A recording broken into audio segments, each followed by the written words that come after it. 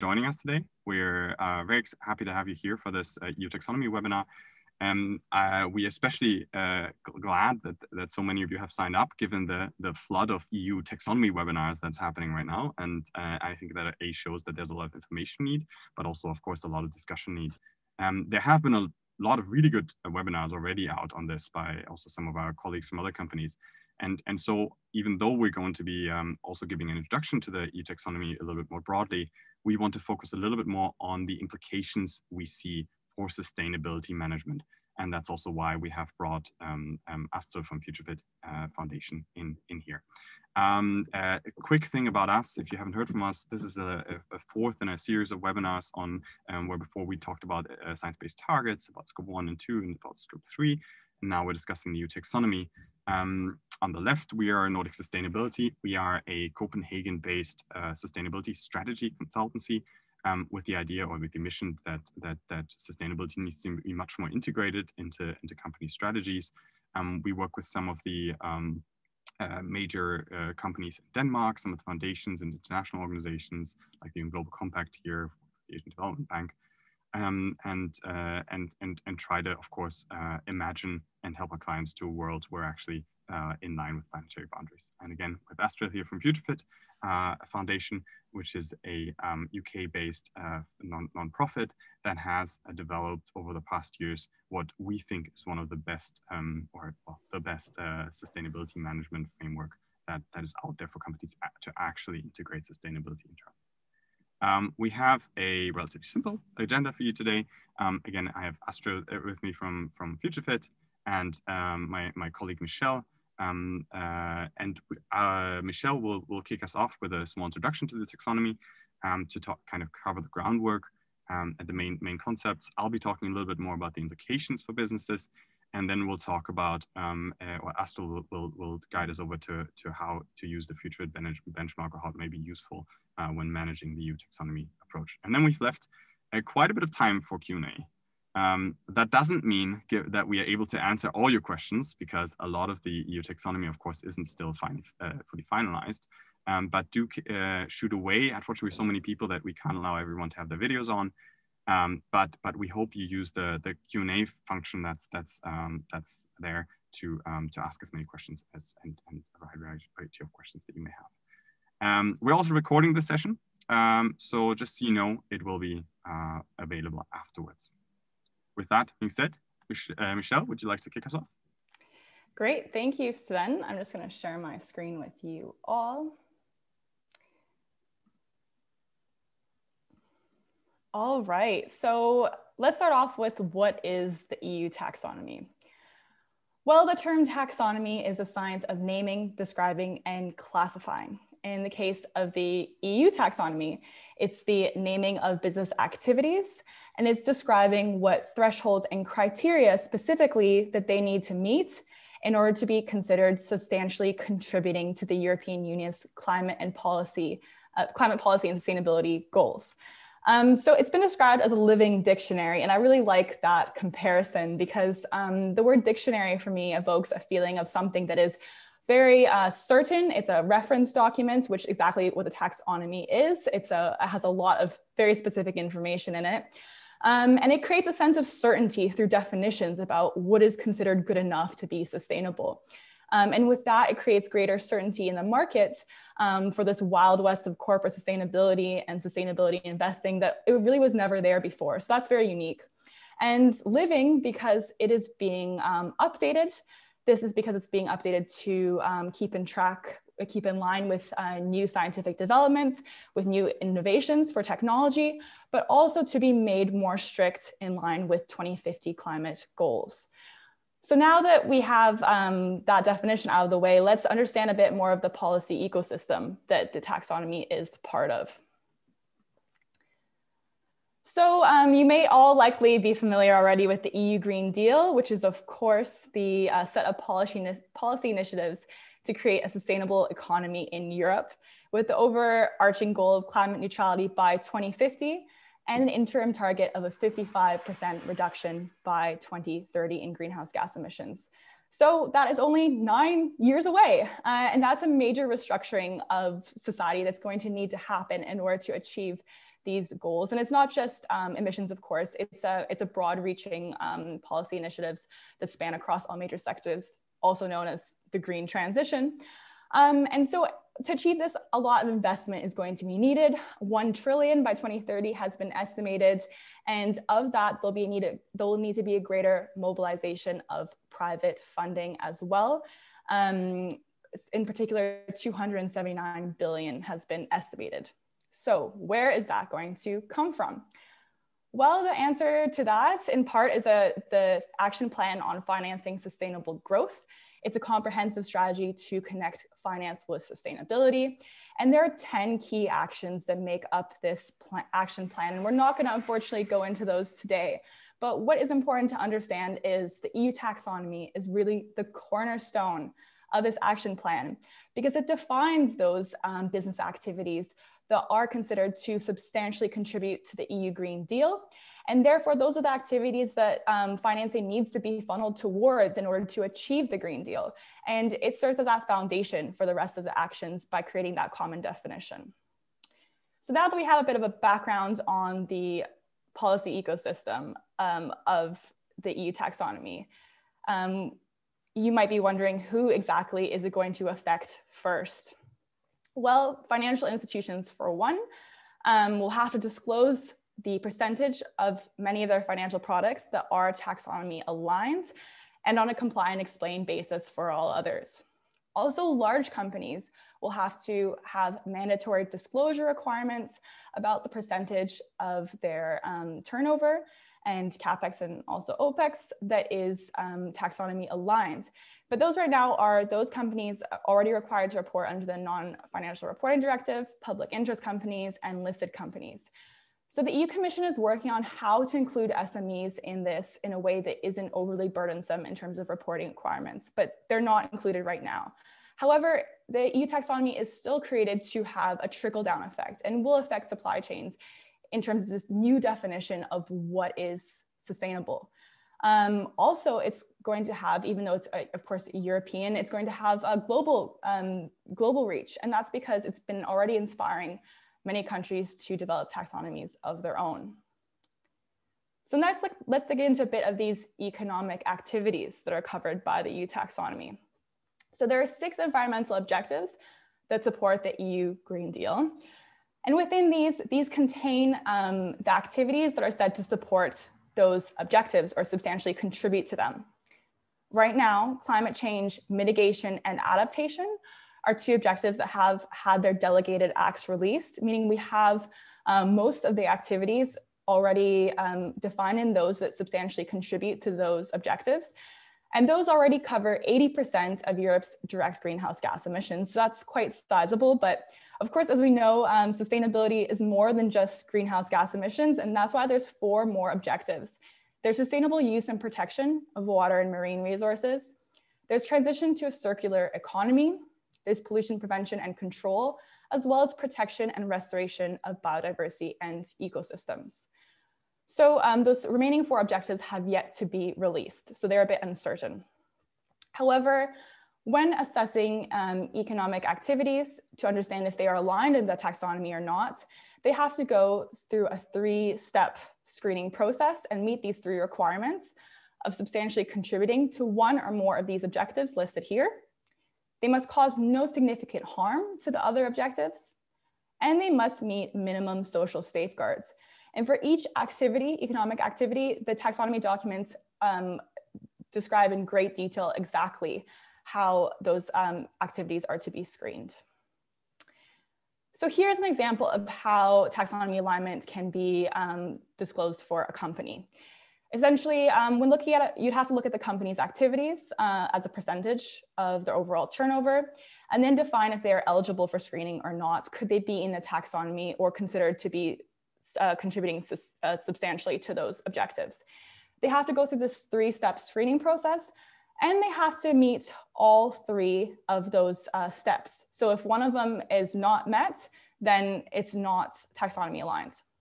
And then the final result is a percentage of turnover that is taxonomy aligned. Oops. So then um, taxonomy screening applied to investment portfolio. Um, investors are going to have to disclose the percentage of taxonomy alignment across their portfolio. And this gets a bit more complex because you're looking at all the companies within that portfolio and then their activities and a similar uh, three-step screening process um, but of course for each of those companies and their activities.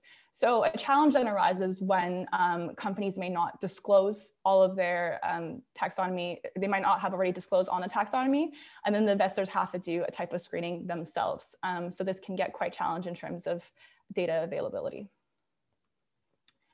So here are some upcoming dates for the taxonomy's implementation of notes. So uh, just one week ago, it was very exciting. We had the final version of the screening criteria released for climate mitigation and adaptation, and Sven will describe a bit more of the uh, developments around that. By the end of this year, we are um, hoping to see the completion of the technical screening criteria or the delegated acts for the remaining four environmental objectives. Then starting in 2022, disclosure will begin to be required for climate mitigation and adaptation.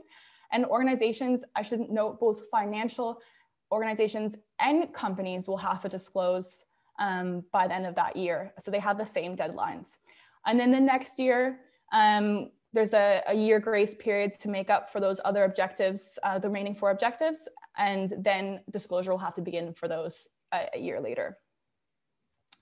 So to wrap us off, um, let's recap what the taxonomy is and is not, according to some misconceptions that can be quite common. The taxonomy is a dynamic tool to enable the sustainable transition.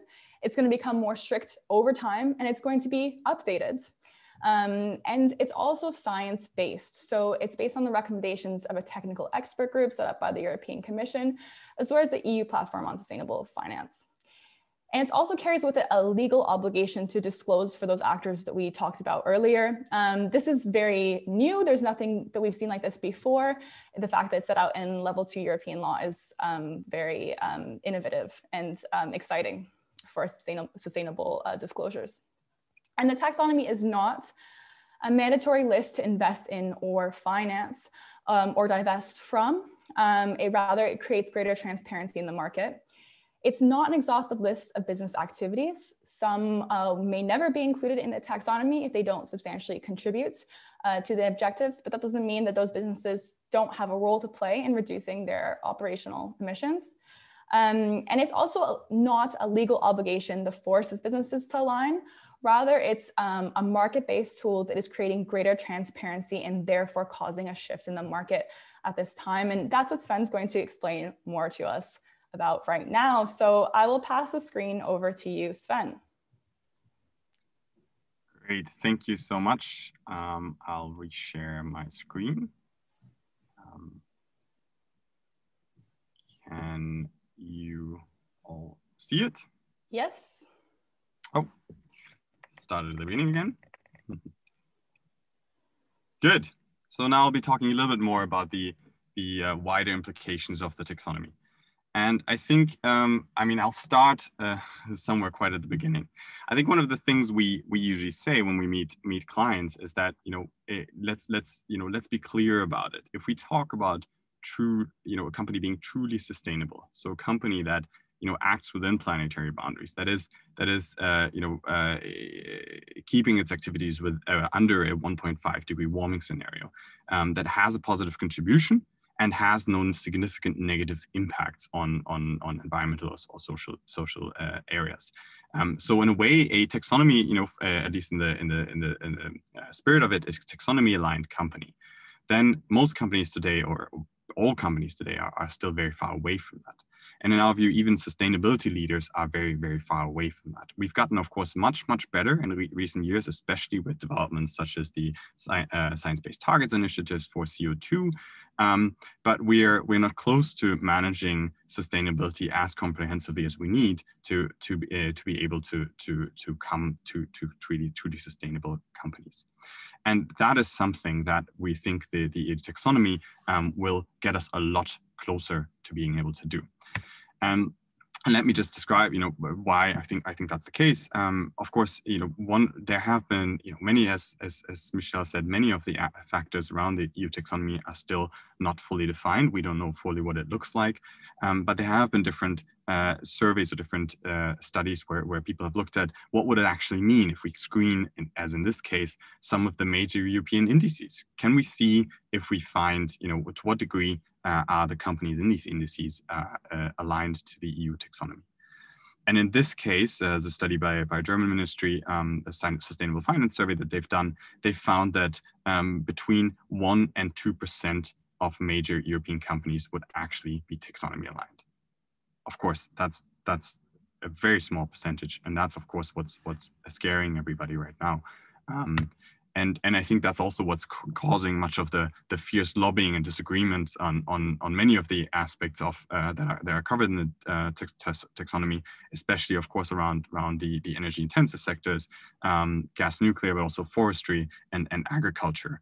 And and you know there are voices on the one hand that then will say like like uh, a member of the EPP in the European Parliament uh, that's an ineffective plan that will uh, uh, is unrealistic and will penalize energy intensive industries.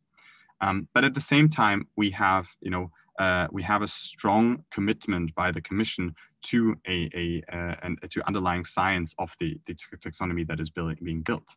And, and we see that also in a, in a, you know in a backlash of the scientific community. This was a letter, uh, "Revenge of the Scientists," uh, from the EU Commission uh, in March, where they said, "Look, if you if you you know if you water this down, um, uh, we will be in clear contradiction to climate science. We will not make it." uh, and you will take out the, the, the, scientific foundation from this.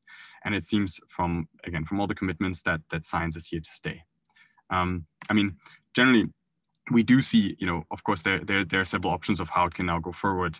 There's still the option that it might all fall apart, in which case we're, we're all much worse off um, than we are than, than than than we would be if it if it comes into force.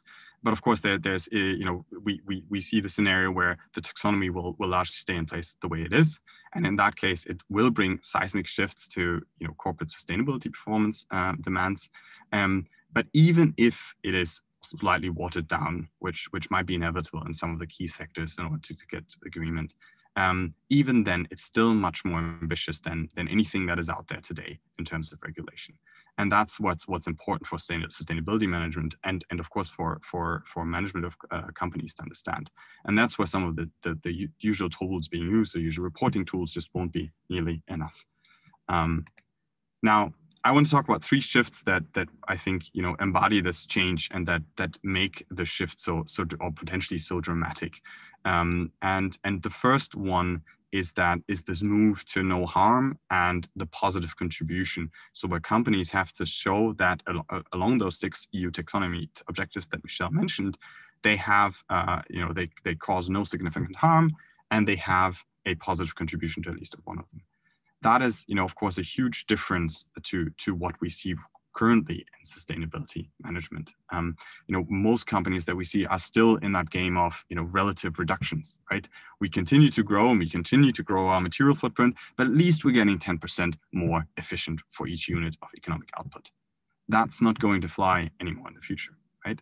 Um, and and you know we've seen the massive shifts, of course, with the Science-Based Targets Initiative on uh, on CO2, um, and that's what's also embodied in the first two objectives that, that, that, are already much clearer. But the rest of the objectives, it's it's very clear that it'll it'll, it'll need they'll need a much wider uh, uh, uh, breadth of, of indicators for companies to measure and understand their performance. So that will bring a big shift for you to show as a company that you're not causing harm.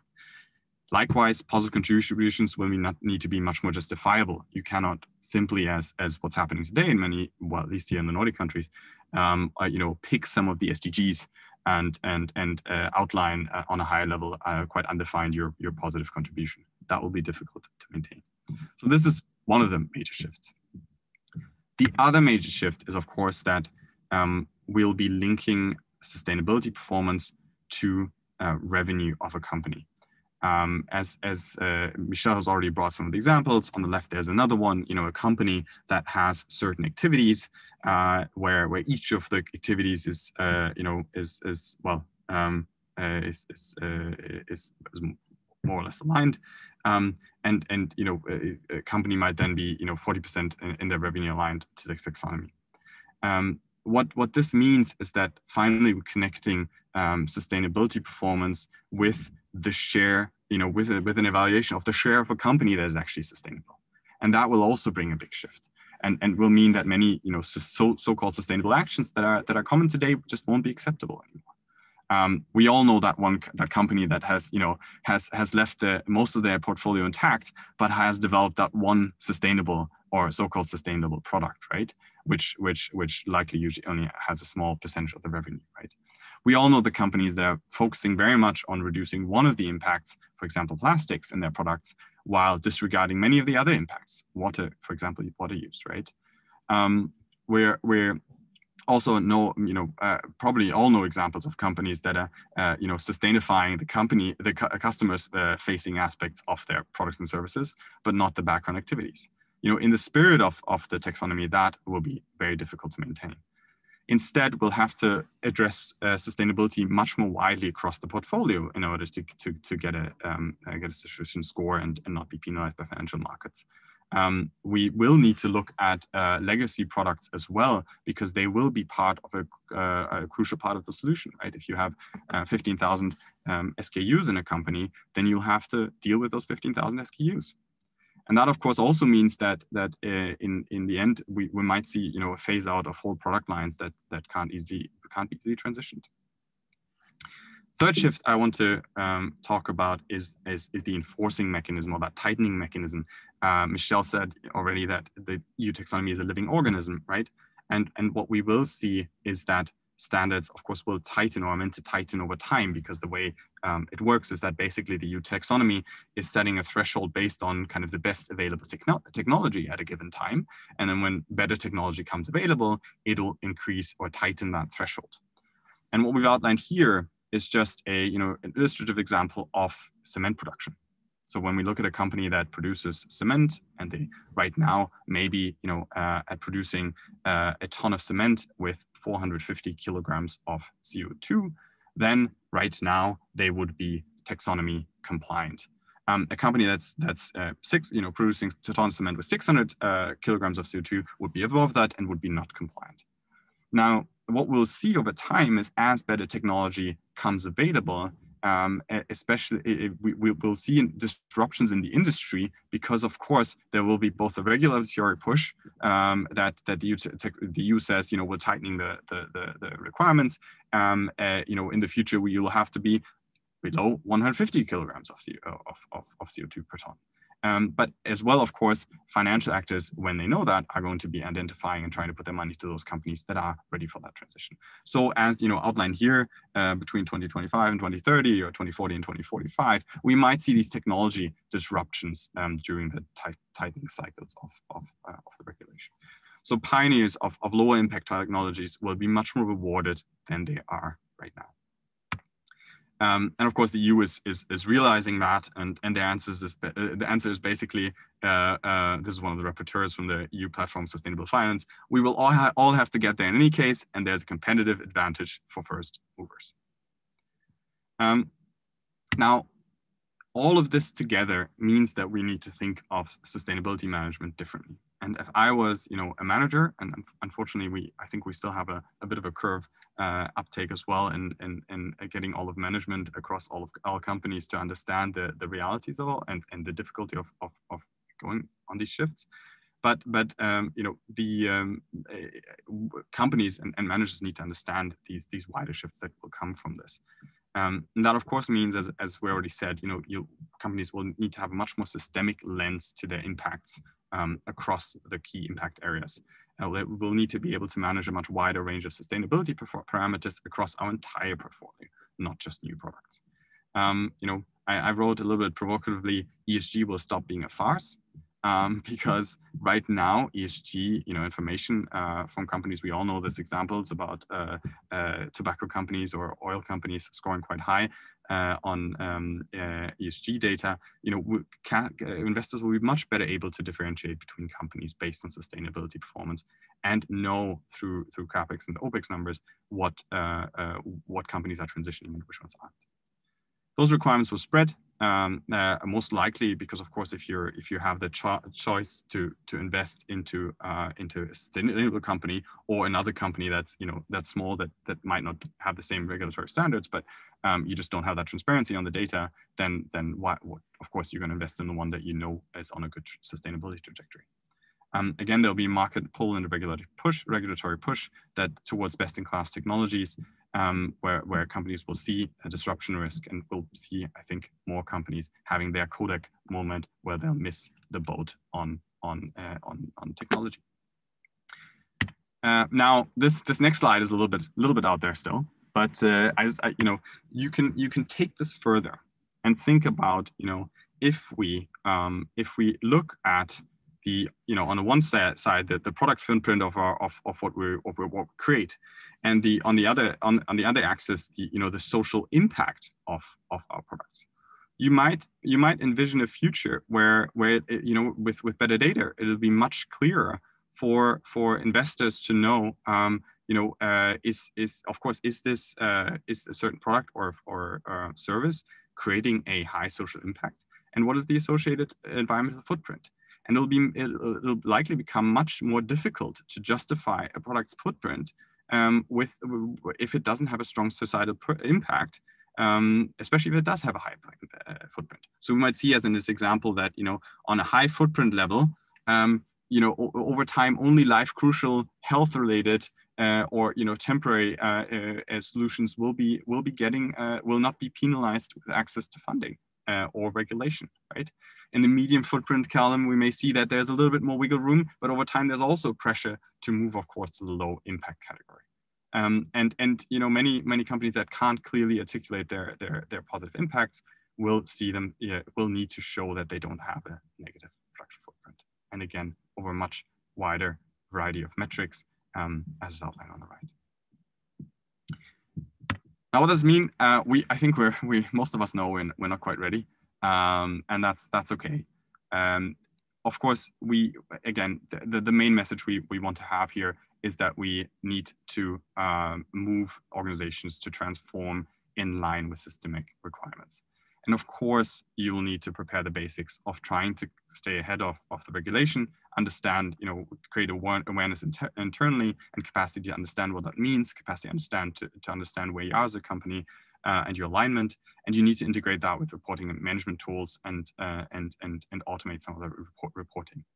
And more crucially though, um, you will need to, to uh, to get an understanding on the organization towards longer term transformations in the sectors and be aware that you know when if a competitor has a much more um, a much lower footprint uh, technology out there that will affect you much more than it has in the past. And we'll see more of course iteration of these cycles these technological cycles that will impact companies. Um, and and as such of course that has to be integrated into internal policies governance systems and, and planning and then be anchored as a standard in in organizations. Um, now, with all of that said, for us, you know, the real question is not just how to be compliant, it is how to systemically address sustainability in your organization. And, and you know, as an organization, you should ask yourself, how can we truly start managing sustainability toward a, what a, a sustainable endpoint?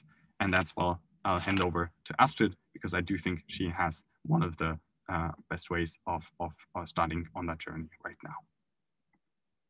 I see there's some questions coming in. Please keep them uh, keep them firing, and we'll, we'll answer them afterwards. Okay, thank you, Sven. I will just try to hijack the screen here.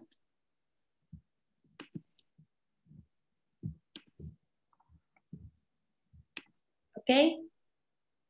Um, well, so yeah, good morning, everyone.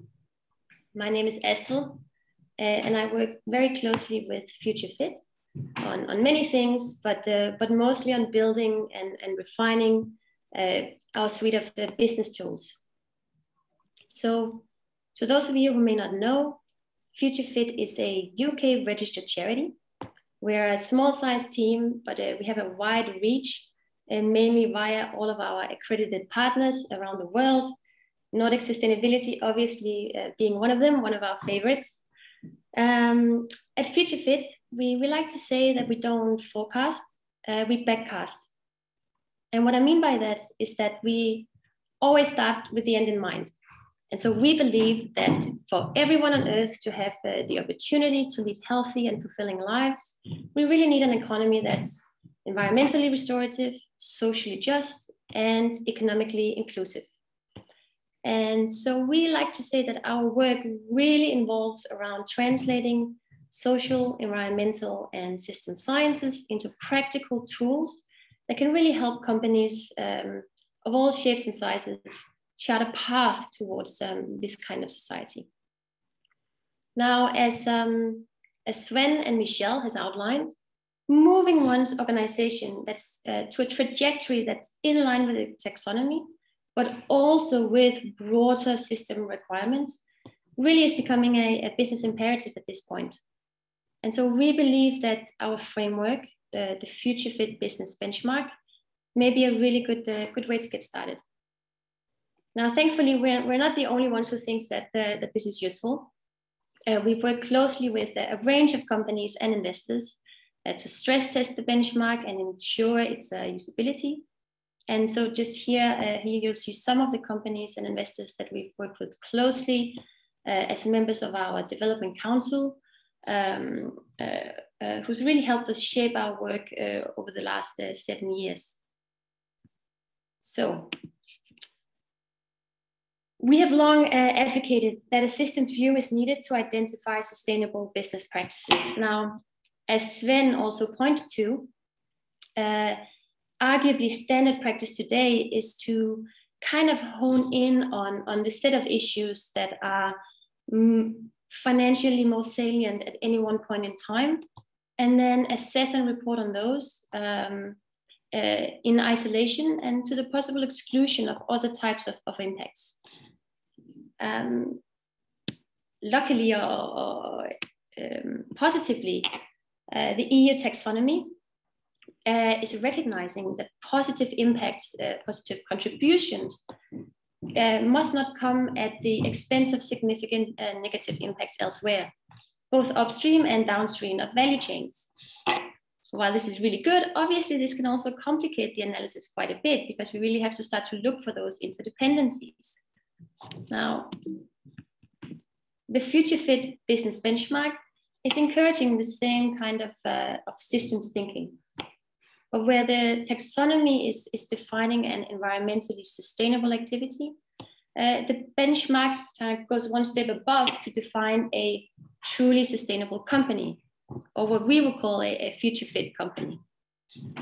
Um, as such, uh, the benchmark at a high level fully encompasses the six environmental objectives that Michelle outlined, as well as the minimum social safeguards, but it also goes beyond that to identify additional social and environmental considerations uh, that stakeholders and, and future regulators are likely to be paying attention to. Now, naturally for, for, for a detailed uh, alignment exercise, we'll have to wait for the taxonomy to kind of take its final form. But it, it's our expectation that the benchmark can prove useful in, in at least two ways. One is conceptual, uh, in that it can, it can kind of act as the um, umbrella framing that can bring together uh, the EU taxonomy but also uh, other or additional imperatives like the Sustainable Development Goals into one shared long-term strategic vision within and, uh, and across companies. The other is more practical. Companies that begin to undertake the kind of holistic approach to impact assessment that, that the benchmark is encouraging will begin to build up a really clear picture of its data and information landscape. So knowing what you know, who knows it, as well as knowing what you don't know, is a really good starting point to kind of identify and explore taxonomy alignment. But more importantly, as well, it, it also sets an organization up to be responsive to changing requirements, both within uh, and beyond the, uh, the taxonomy. So, what is the Future Fit Business Benchmark? At its core, uh, it's a way for companies and investors to assess, measure, and manage the impact of their activities, both positive and negative. We've built it based on leading scientific, expert, and organizational thinking within each distinct topic area, but always with the focus of identifying uh, the markers of true sustainability, so to speak. Now, the benchmark offers a way of, of identifying and measuring and communicating positive contributions, uh, including the extent to which those contributions are aligned with revenue generating activities. So this is what maps very nicely onto the environmental objectives. In addition, uh, it identifies a set of business specific social and environmental uh, break even thresholds, as we'd like to call it. These are long term ambitious goals which combine to define what it takes to become a future fit, uh, a future fit company. So that's a company that do no harm or is truly sustainable. Now, for both positive pursuits and for each break-even goal, um, the benchmark offers information, insights, and actionable steps that a company can take to kind of measure and make progress towards them. It's accompanied by a, a disclosure uh, template, which we refer to as the statement of progress. And that's for those companies that are looking to communicate both their ambition and their performance externally and on an ongoing basis. It complements other initiatives be it the SDGs, planetary boundaries, ILO standards, circularity principles, and so forth. And, uh, and yeah, as, as said, I mean, we expect there to be very strong alignment with the, with the taxonomy. So it's our expectation that companies who are actively using the benchmark uh, will have a majority of the data it needs to understand and, and disclose alignment. But of course, we will also actively work uh, towards ensuring that that is indeed the case as we continue our own uh, development. So, so just to, uh, to sum up, I guess the, the purpose of the benchmark is really to encourage companies to be ahead of the game through the proactive management of key information in order to be responsive to both current as well as future societal and regulatory pressures, while at the same time also providing the mechanisms through which to communicate those uh, contributions towards these shared societal objectives, be it climate change mitigation, adaptation, circularity, resource stewardship, or, or social uh, well-being. So, how can you uh, how can you engage with the with the benchmark? Um, there are many ways in which you can uh, engage with, with us, but I'll just focus in on a couple here. Um, first of all, our, our uh, content, uh, core content is freely available online. So you can uh, visit our website and download all the, uh, the action guide and all the information there. Um, but uh, we'll really uh, encourage you to, to also consider joining our community of changemakers. Um, the Changemaker community is really a place where we bring together sustainability and business professionals around the Future Fit business benchmark. And in there, you'll find exclusive resources, practical tools, regular events, and just um, input from the Future Fit team on queries. And so it's really just a space to connect and cross pollinate across organizations. And, and, and everyone's most uh, welcome to join. It's, it's very accessible. Now, one resource which is currently in the community and which will be live uh, by the end of May, so just unfortunate timing here, um, but that's our online learning hub. And the online learning hub contains all the benchmark guidance in an easily accessible and, and shareable format. Uh, and this is also um, what we will continue to build out on uh, as we go forward, adding additional resources, FAQs, and, and, and, and, and links um, for each of these distinct topics that the, the, the benchmark addresses. Um, in addition, we will soon-ish uh, be launching a beta release version of what we call the Future Fit Management Dashboard. And the intent of the dashboard is to make it easier for companies to gather data and measure progress for each of the benchmark topics.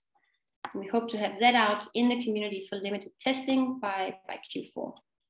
And we just believe that both of these tools are, are really good uh, ways to kind of start to come to grips with not only what's needed for taxonomy compliance, but what the ultimate aim can look like for companies that really want to be at the forefront of sustainability. Now, um, yeah, in addition uh, to our work with businesses, you know, um, um, we do have a network of accredited partners like Nordic Sustainability. So if you don't want to engage with us, there are others out there that are very help uh, um, ready to kind of help companies that are looking to either just dip a toe uh, in the water or just fully deep dive on, on all things future fit. So um, so I think with that I'll, I'll I'll hand it back to you, Sven. Unmute button. Great. Thank you so much, Astrid. Uh, thanks so much for for the intro here. Um, and I think what is, as you already said, what's what's really different about this is that you're you know you're able to set as a company that long-term sustainability goal, and then hopefully um, uh, at times leapfrog uh, some of those technology those those compliance cycles where you're just trying to to meet the next hurdle. Um, we have a range of questions here, and, and please keep uh, free to uh, feel free to, to keep um, keep firing them. Um, I think uh, Michelle, you already answered a few of them uh, regarding what companies it it it um, it uh, applies to.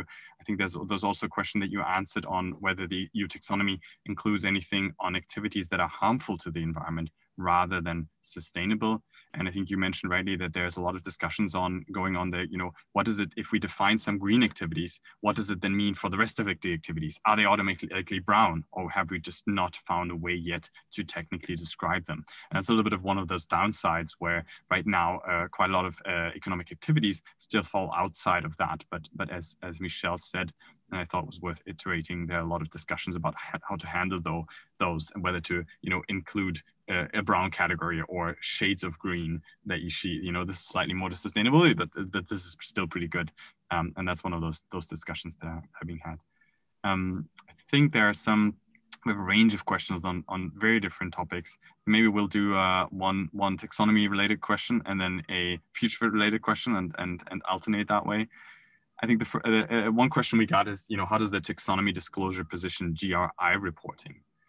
And, and I think from our point of view, um, of course, you know, in a lot of ways, um, uh, for, for, for some of the areas we, we don't fully know, we're not fully able to give that answer yet because so much of it's undefined. I think the two um, uh, uh, the, the, the main issue with with GRI is that in a way it's backward looking, right? It's it's um, it's looking at uh, uh what is your performance today it doesn't it doesn't extrapolate in the future. It doesn't tell you where you're going to go in the future.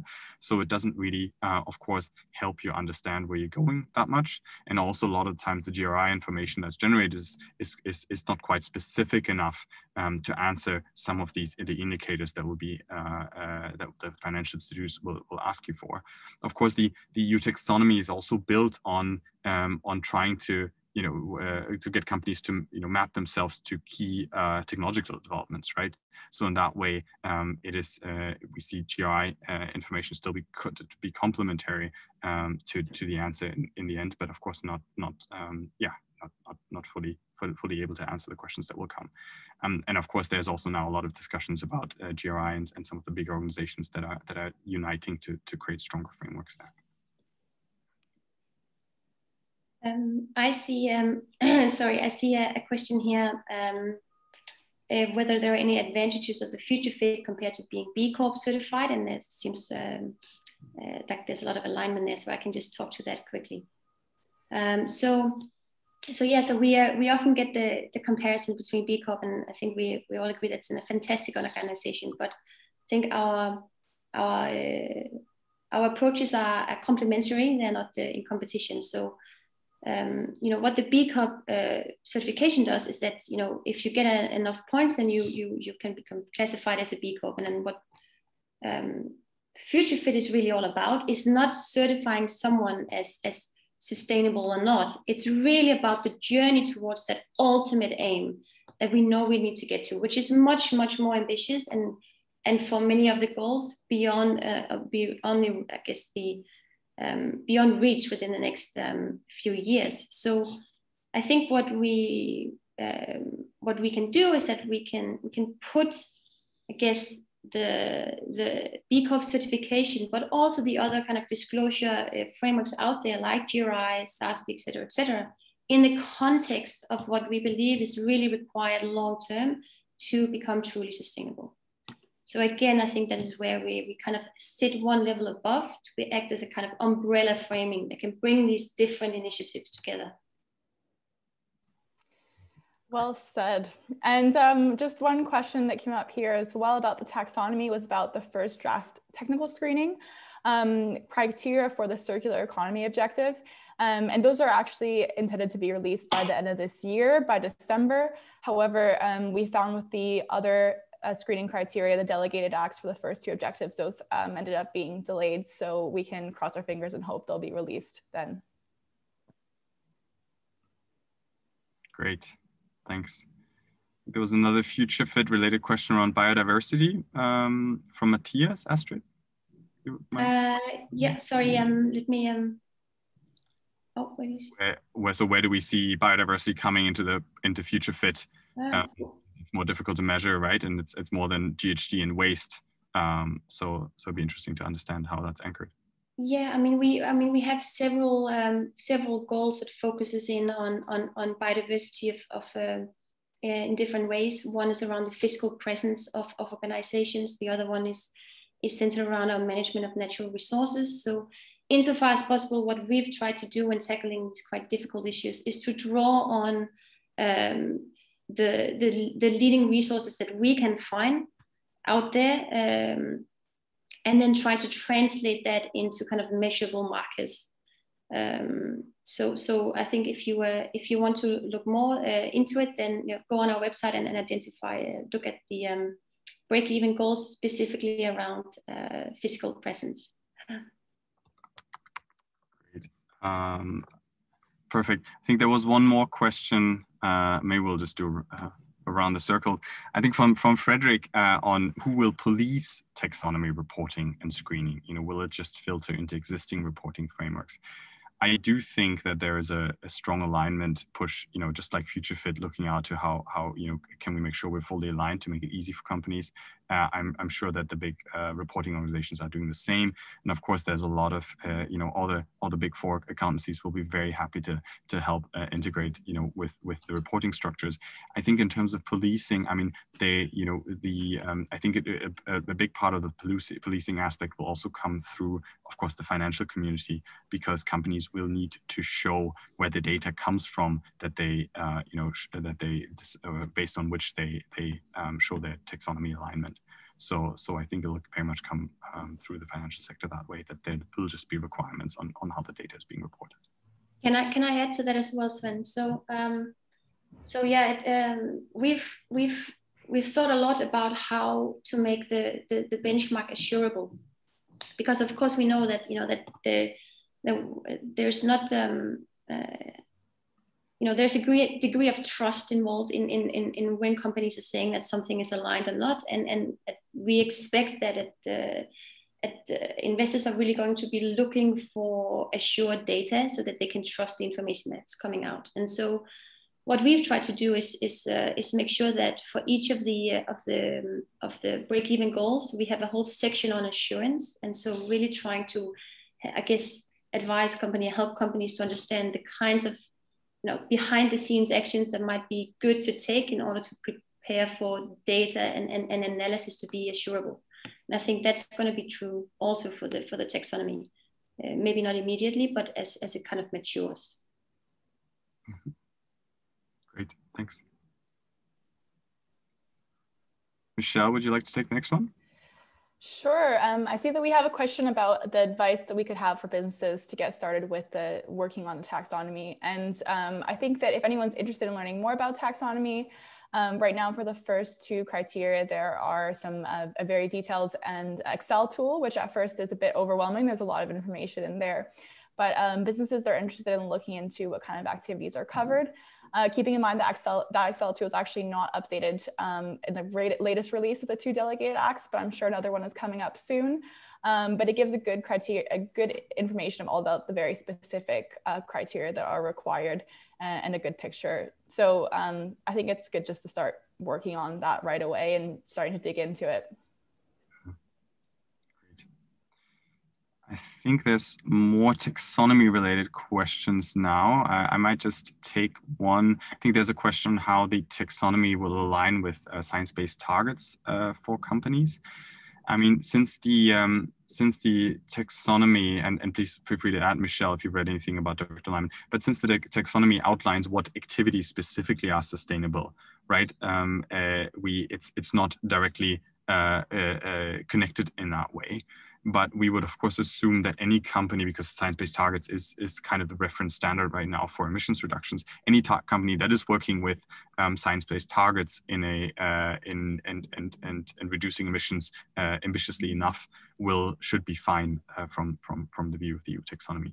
Um, yeah, I think just to add to that, I mean, with all these questions about does it align with different um, reporting standards, it's not created to align with reporting standards, uh, of course, but then, for example, um, SBTI being very ambitious, um, companies that are already working with it will have better quality data and be already taking more actions to reduce their emissions. Um, and so therefore, there are, it'll be an easier time for them when they begin working with the taxonomy.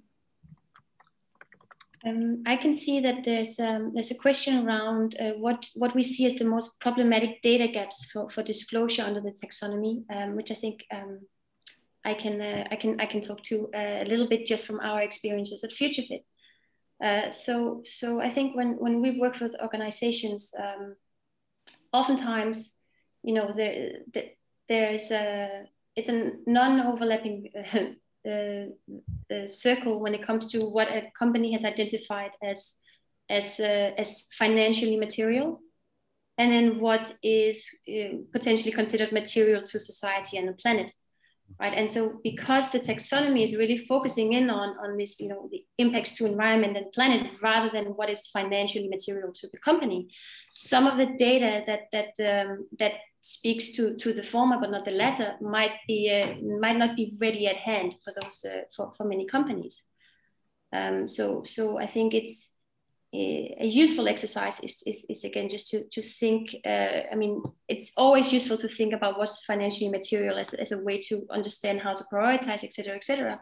But really go beyond that to understand you know, the broader system requirements again. And then once you do that that's where you probably will find that you have to close some data gaps in your organization and the, the whole I, I, think the whole focus on on trying to get the discussion science based right? To, to to make sure you cover all the ways in which you have an impact on the different different metrics. I think that's that's the key and that's sometimes the the the, the where where traditional materiality approaches are lacking. Mm. good. Um, there's a question of um, so in effect, if a company is not sustainable as per EU taxonomy, then capital markets will not provide funding to them, right? Um, I think I think it's a difficult one. I mean, of course, you know, we we we, we know now that you know oil companies are, are, are we've been knowing for a while, oil companies are not sustainable, and still they've received quite a bit of funding, right? But of course, um, I think as as investors make more experience with you know stranded assets where they invest for example in oil and then realize and um, there's just huge write downs because uh, because it's, it's part of the old economy. Um, uh, we do think that that investors will be much quicker at adjusting their investments towards uh, towards sustainable uh, towards the sustainable economy. So I, I think it'll be uh, there'll be a, a, a stronger and and and and uh, immediate response from investors but of course on an individual case basis it's it's always difficult to say we also have a question about how the taxonomy addresses um, high carbon intensive sectors compared to companies or sectors that enable carbon reducing or uptake solutions. Um, and it's interesting because we talk a lot about the activities themselves that contribute to the six objectives, but the taxonomy also includes um, transitional activities, specifically those that um, have no technological or economically feasible low carbon alternatives, uh, but still support the transition to climate neutrality. And that is, um, is addressed in the taxonomy. Of course, they also include these enabling activities, which enable other activities to make a contribution to one or more of those objectives. So those activities in themselves may not be low carbon, but they help um, the other activities and the transition to an overall um, carbon neutral society. So those are taken into account and those criteria will be updated um, when new technologies emerge that can make those um, sectors hopefully um, less uh, environmentally uh, harmful in, in themselves.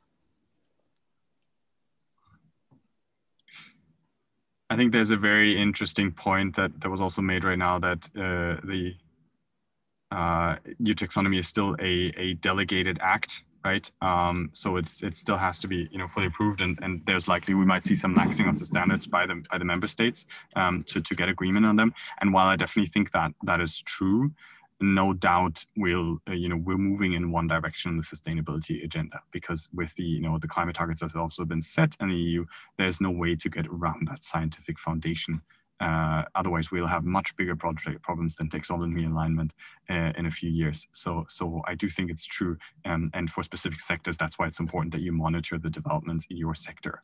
Uh, but, but, but again, being ahead of the game is probably probably a good, good, good thing, no matter what. Um, sorry, there's a there's a question here around if you are a future fit pioneer, how can you utilize the break-even goals in, in relation to the um, EU taxonomy of reporting? So um, so um, so I just want to make a note, I guess, on the um, what we mean by uh, pioneer, future fit pioneer. So that's a um, basically we've we're we're we've um, riling up a group of of companies that are really committed to the journey of future fitness, and not just committed, but also to committed to disclosing progress. And and and those we just refer to as our future fit pioneers. And so those are really companies that have um, started. Uh, looking into um, how they are how they're performing and their ambitions across all of these different goals. So in terms of how to utilize that analysis in relation to the EU taxonomy, I would say I would say for now, just immediately, again, it comes down to just um, understanding. Uh, if you have done this, you probably have a very good sense for uh, your operations and how you're faring on each of the environmental objectives, but also on each of the underlying I guess, the technical screening criteria uh, for your activities.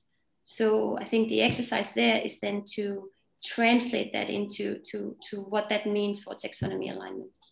Now, it's our hope that uh, as we kind of progress uh, further with our management dashboard, in time, it might be possible for you to, uh, you know, uh, do your future fit uh, pioneer report, but in addition, kind of translate that into what does that mean for taxonomy alignment, but also, you know, what does that mean for our um, contribution to the SDGs, both positive and negative, and, and other frameworks out there that uh, that are important. So um, this is something that we are looking at making sure that's as easy as possible, but uh, but it probably will be um, be a, a little bit before we get there because we also need the EU taxonomy to get there first.